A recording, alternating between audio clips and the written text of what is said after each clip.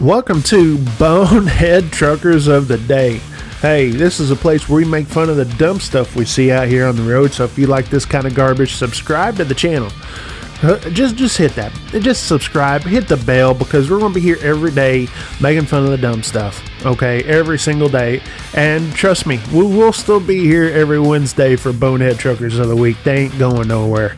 Anyway, if you got clips you want to send, send them to contact at boneheadtruckers.com or say no to Bonehead Truckers on Facebook. Click that special link down below. There's imposters out there. You got to get in the real deal Holyfield, okay? From Aurora, Colorado at the Flying Hook. Okay, this guy sitting there, I guess he had to go use the bathroom. Had to go get him a sody water and a hot dog. A hot dog. Do you put mustard on your hot dog, mayonnaise, or ketchup? What you do?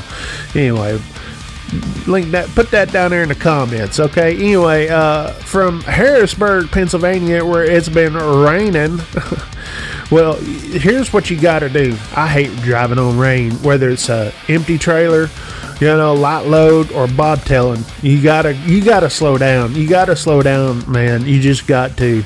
Anyway this guy had learned the hard way man. He just did. Shame on the mess. Anyway, this guy uh, is filming from uh, a produce, either a shipper or receiver. He didn't specify. I said specify.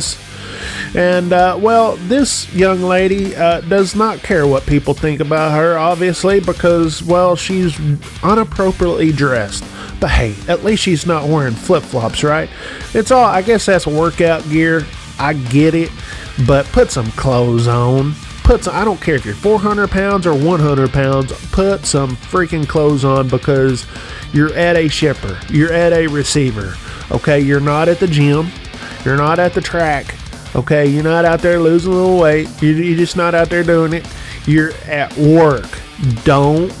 I mean, put some clothes on for crying out loud. Like this guy right over here, you're gonna see him walking. He's got clothes on. Now, obviously, he probably works here but uh, put some yeah, put some clothes on. Don't nobody want to see that garbage.